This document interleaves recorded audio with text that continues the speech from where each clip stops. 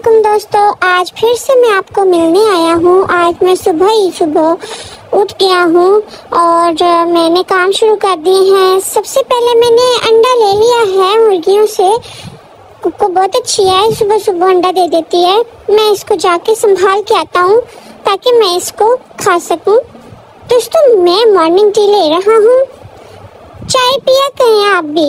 ये आपको फ्रेश रखती है। और आपको काम सारे अच्छे से करने में हेल्प करती है। मैं तो बहुत पसंद करता हूँ चाय। बड़ा हूँ ना मैं। अब मैं आया हूँ शॉप पे। अपने लिए थोड़ी सी शॉपिंग करने। मैंने सोचा कि मैं कितने दिनों से घर पे हूँ। तो आज मैं जाके गंदी चीज़ें ले आता हूँ दुकान से जो कि मैं खा सकूँ। तो इसलिए मैं यहाँ आया हूँ। ये शॉप मुझे बहुत अच्छी लगती है। मगर यहाँ की सारी चीज़ें मुझे पसंद नहीं है। मैंने यहाँ से जूस लिया। मैं घर जाके जूस पी रहा हूँ। दोस्तों, ये जूस मेरे लिए अच्छा नहीं है, लेकिन मुझे फिर भी बहुत पसंद है। हम सारे बच्चों को ये ऐसी चीज़ें बहुत अच्छी लगती हैं जो हमारे लिए ठीक नहीं होती। फिर मैं अपने पापा के साथ बाहर जिलम घूमने आया था तो मैंने सोचा यहाँ पे आइसक्रीम खा लूँ। मुझे आइसक्रीम अच्छी लगती है ना। आपने माइंड नहीं करना आज मेरा गंदी चीज़ें खाने का दिल है जो मेरे लिए अच्छी नहीं है। कभी कभी थोड़ा सा चीट कर लेना चाहिए ना दोस्तों?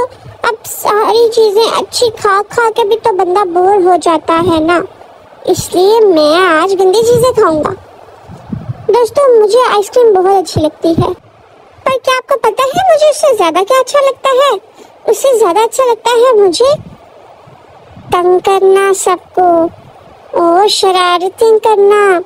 यहाँ पे तो मुझे दोनों चीज़ें मिल रही थी। मैं तंग भी कर सकता था और मुझे आइसक्रीम भी मिलने वाली थी। मैं सारी चीज़ें खराब कर रहा हूँ। लेकिन तो सही। असल में सारी चीज़ें अच्छे से बोर लग रही थी।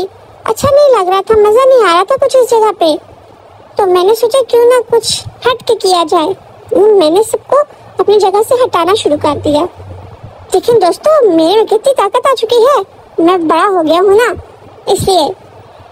दोस्तों, आप अपनी ईमानदारी से बताएँ मुझे, क्या मेरे जैसे बच्चे के बगैर भी किसी की कोई ज़िंदगी है? मैं ना होता तो लोगों की लाइफ में थ्रिल ही ना होता। देखिए दोस्तों आइसक्रीम आ चुकी है। ये तीन तरह की है। मुझे माँ पापा ने तीनों तरह की आइसक्रीम खिलाने की कोशिश की, लेकिन मुझे ये कोई अजीब सी लग रही थी, इसमें तो कौन ही नहीं है। दोस्तों मैं कुछ ग्रॉसरी करने आया हूँ। यहाँ पे ग्रॉसरी के लिए मैंने सोचा ड्रिंक्स ले लूँ। लेकिन ये ड्रिंक्स अंदर है, बंद है, मुझे मिल ही नहीं रही। पता नहीं कैसा सिस्टम है इनका। इतनी चीज़ें हैं, मगर मैं किसी को भी नहीं उठा सकता। ऐसे तो नहीं होना चाहिए ना।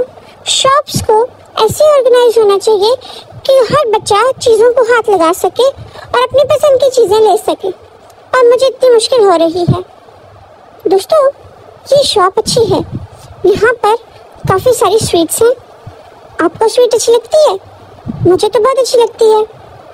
मगर दोस्तों, ये सब ये सब ग्लास के अंदर बंद है। मैं तो इनमें से कुछ भी नहीं ले सकता।